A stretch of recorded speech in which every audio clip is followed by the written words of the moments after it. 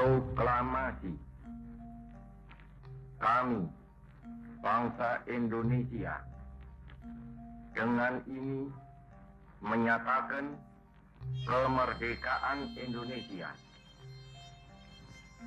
Hal-hal yang mengenai pemindahan kekuasaan dan lain-lain diselenggarakan dengan cara saksama dan dalam tempo yang sesingkat-singkatnya. Jakarta, 17 Agustus 1945 atas nama bangsa Indonesia Soekarno Hatta. Bismillahirrahmanirrahim. Merdeka! Saudara-saudara, rakyat jelata di seluruh Indonesia, terutama saudara-saudara penduduk kota Surabaya. Kita semuanya telah mengetahui bahwa hari ini tentara Inggris telah menyebarkan pamflet-pamflet yang memberikan suatu ancaman kepada kita semua.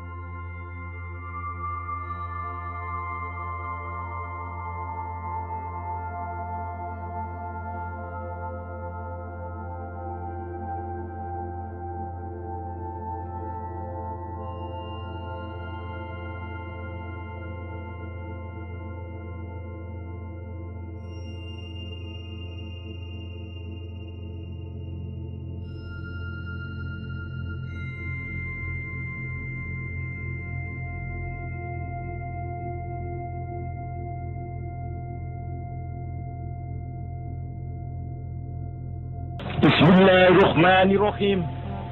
Merdeka!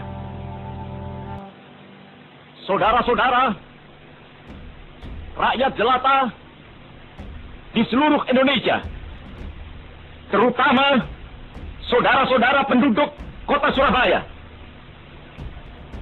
Kita semuanya telah mengetahui bahwa hari ini tentara Inggris telah menyebarkan pamflet-pamflet yang memberikan suatu ancaman kepada kita semua. Kita diwajibkan untuk dalam waktu yang mereka tentukan menyerahkan senjata-senjata yang telah kita rebut dari tangannya tentara Jepang. Mereka telah minta supaya kita datang pada mereka itu dengan mengangkat tangan. Mereka telah minta supaya kita semua datang pada mereka itu dengan membawa bendera putih, tanda bahwa kita menyerah kepada mereka. Saudara-saudara, di dalam pertempuran-pertempuran yang lampau, kita sekalian telah menunjukkan bahwa rakyat Indonesia di Surabaya, pemuda-pemuda yang berasal dari Maluku, pemuda-pemuda yang berasal dari Sulawesi, pemuda-pemuda yang berasal dari Pulau Bali, pemuda-pemuda yang berasal dari Kalimantan, pemuda-pemuda dari seluruh Sumatera, pemuda Aceh, pemuda Tapanuli, dan seluruh pemuda Indonesia yang ada di Surabaya ini. Di dalam pasukan-pasukan mereka masing-masing, dengan pasukan-pasukan rakyat yang dibentuk di kampung-kampung, telah menunjukkan satu pertahanan yang tidak bisa dijebol. Telah menunjukkan satu kekuatan, sehingga mereka itu terjepit di mana-mana. Hanya karena taktik yang licik daripada mereka itu, saudara-saudara. Dengan mendatangkan presiden dan pemimpin-pemimpin lainnya ke Surabaya ini. Maka kita tunduk untuk memberhentikan pertempuran. Tetapi pada masa itu, mereka telah memperkuat diri. Dan setelah kuat, sekarang inilah keadaannya. Saudara-saudara, kita semuanya, kita bangsa Indonesia yang ada di Surabaya ini, akan menerima tantangan tentara Inggris itu.